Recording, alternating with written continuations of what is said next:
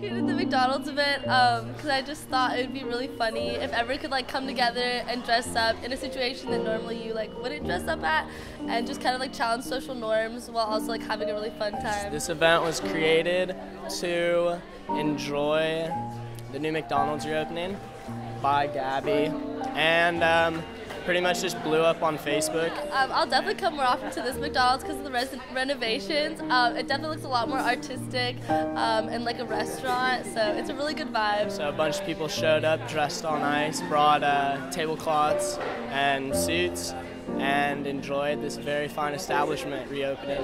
Yeah, I mean, definitely. Like, you know, I've been to a lot of nice McDonald's, uh, but like, I remember before the renovation, you know, it kind of had a shady reputation. Like, there were people like just stay here for a long time, and not that homeless people are bad or anything, but there were like a lot of homeless people like just sitting around. I mean, so like sometimes I did feel a little bit uncomfortable coming here uh, late at night. Um, but you know, now that it's really like brightened up, I think it's like it's the same place, but like with a different look. So. It looks a lot nicer. I feel like there'd be more people here, and us Berkeley Berkeley students were struggling when it was uh, getting remodeled because we had nowhere to eat. But now it's back open, so we're good.